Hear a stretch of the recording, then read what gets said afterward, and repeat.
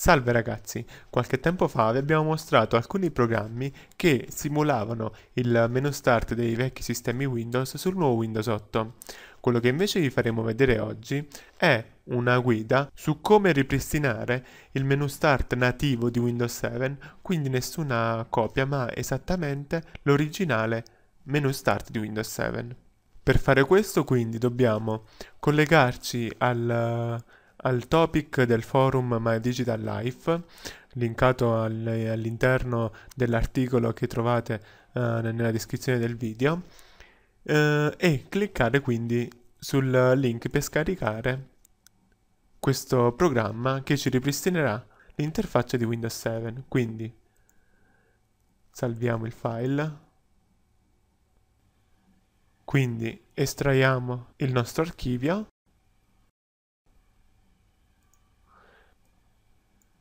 mettiamo sul desktop ed avviamo l'eseguibile. Confermiamo. Per prima cosa quindi scegliamo se uh, ripristinare uh, lo start menu di Windows 7 per tutti gli utenti o se per soltanto l'utente selezionato. Nel nostro caso lasciamo tutti gli utenti, quindi clicchiamo su install. Ok. Adesso uh, dobbiamo inserire il DVD di Windows 7 uh, nel nostro computer e quindi clicchiamo su Find Automatically. Perfetto, è stato trovato. E quindi a questo punto dobbiamo scegliere di uh, usare l'Explorer Windows 7. Ovviamente non sarà più possibile utilizzare la nuova interfaccia di Windows 8, l'interfaccia Metro, uh, e quindi tutte le applicazioni con, uh, che utilizzavano questa nuova interfaccia. Quindi clicchiamo su Use Windows 7 Explorer e ci viene detto che per completare bisogna, verremo appunto sloggati dal, dal, dall'utente, quindi confermiamo. Rieffettuiamo l'accesso.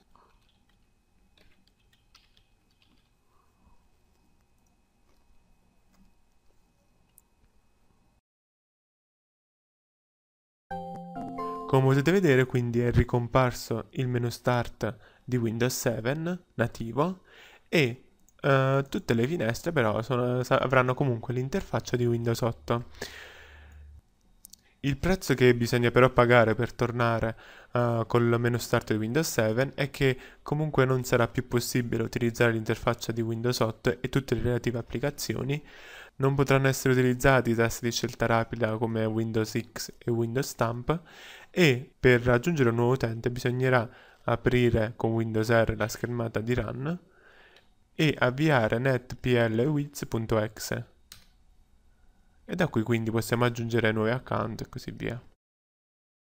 Per tutti gli altri dettagli in ogni caso potete consultare l'articolo presente nella descrizione del video.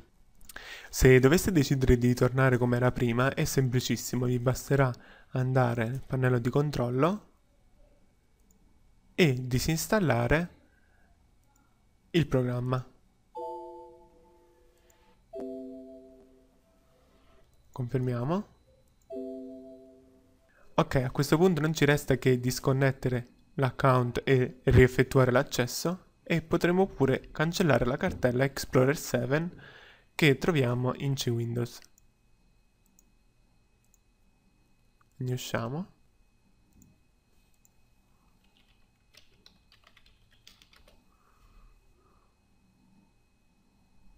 e come potete vedere è tornata l'interfaccia di Windows 8 ed è scomparso il menu start, è tutto tornato come prima.